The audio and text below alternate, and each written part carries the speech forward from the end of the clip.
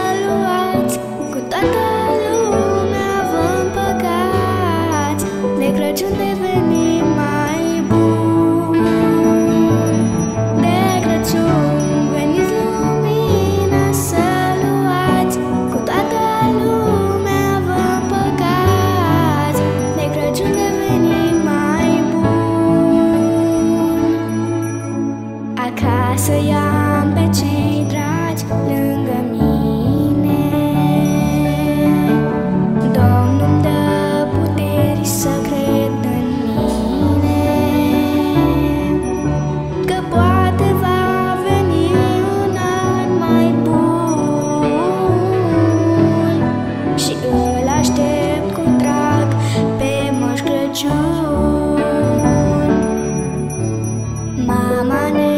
așează lângă ea